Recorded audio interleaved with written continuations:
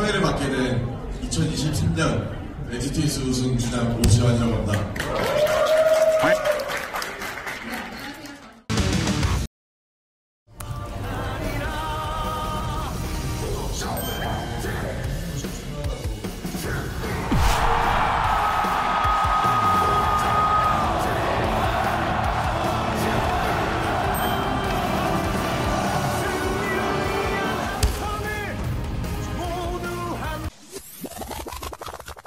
꼭 대답을 해주시면 되겠습니다. 어떤 질문이 있을지 첫 번째 질문 먼저 들어보겠습니다.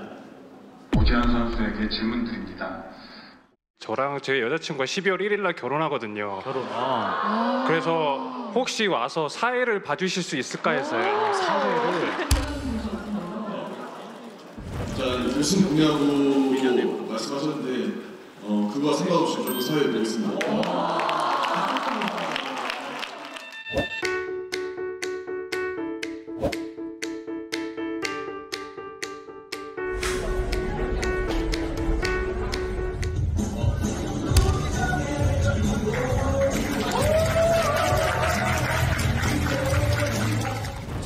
사회를 맡게 된 2023년 NCT 우승 주장 오지환이라고 합니다.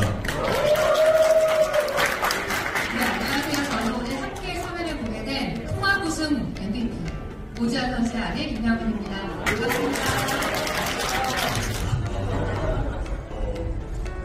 어, 두 사람의 결혼이 원만하게 이루어진 것을 여러분 앞에 엄숙하게 선언합니다.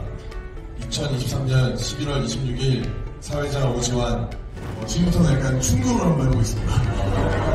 어, 어, 신부의 말을 많이 듣는 것이 중요하다고 생각이 듭니다. 어, 항상 작은 말에 그리고 귀 기울여 주셔서 항상 신부의 말을 들어주셨으면 좋겠고 또 남편이 신부 이겨서 좋을 게 하나도 없더라고요.